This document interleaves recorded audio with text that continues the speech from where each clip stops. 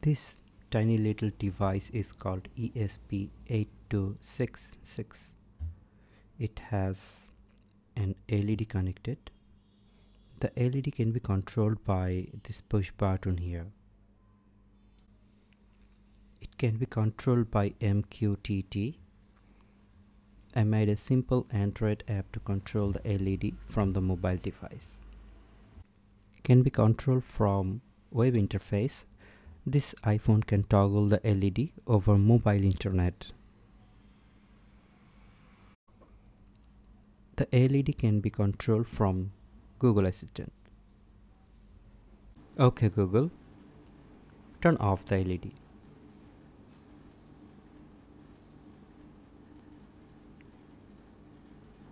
The LED is off now. OK Google, turn on the LED.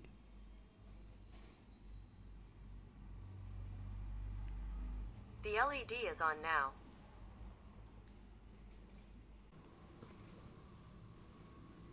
I am using Mosquitto as the MQTT broker.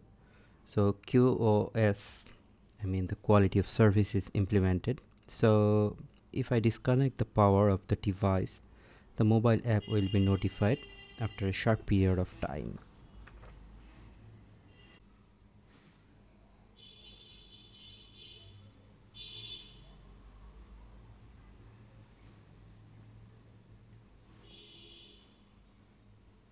If I connect it again, the app will get notified too.